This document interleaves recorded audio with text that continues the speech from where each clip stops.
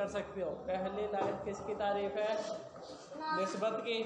और point number point number चार नज़र आ रहा है? पॉइंट नंबर चार नज़र आ रहा है? कोई भी लड़का टेटा होकर ना बैठे। मैं पहले बता बंदे पुत्र बन के बैठा करो। दो नस्बतों के में बराबरी का ताल्लुक क्या कहलाता है? तनासब मिल गया भाई सबको? कोई सवाल किसी का? नहीं। तीसरा सवाल है, किसी तनासब के तरफैन का क्या मतलब होता है? तरफैन का मतलब होता है पहली और चौथी रकम। पहली और वस्तैन का क्या मतलब होता है? तरफैन होती है पहली और चौथी वस्तैन होती है दरमियान वाली दूसरी और तीसरी।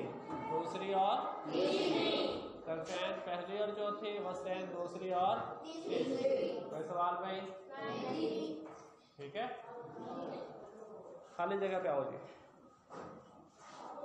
डैश की आसान तरीन शक्ल और कसर आम के मुख्तर तरीन शक्ल में कोई फ़र्क नहीं होता। नस्बत। जी? नस्बत की नस्बत की आसान तरीन शक्ल और कसर आम के मुख्तर तरीन शक्ल में कोई फ़र्क नहीं होता। तनासब का दूसरा और तीसरा रुकन इसके डैश कहलाते हैं?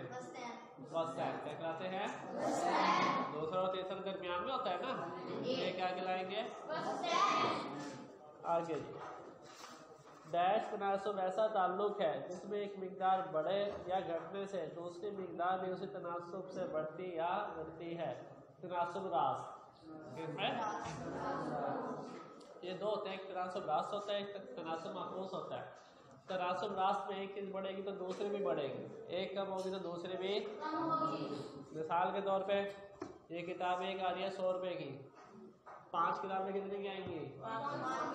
किताबों की तादाद बढ़ी? कीमत भी बढ़ गई। ठीक है? या पाँच किताबों की कीमत है